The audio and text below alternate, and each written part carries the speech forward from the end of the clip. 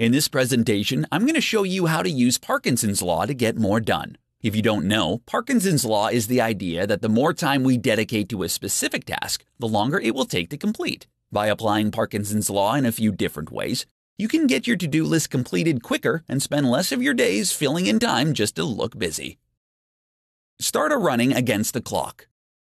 Start by making a list of the tasks that you need to complete and divide them by the amount of time it will take you to achieve them. Then give yourself half the time to complete the tasks. For this to work, you need to see that making a time limit is crucial. You need to treat it like any other deadline and see them as unbreakable. Consolidate for time fillers.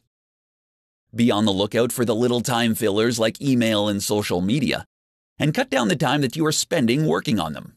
If you usually end up spending 30 minutes responding to emails, start giving yourself only 5 minutes to do the task. Don't give these little tasks any more time until you've completed everything on your to do list. Take frequent breaks.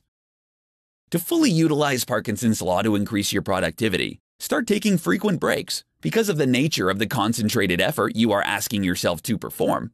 Without frequent breaks, your brain gets tired and starts to shut down and unable to function in the same way. You will only be able to increase your productivity by learning when to stop and being able to step away.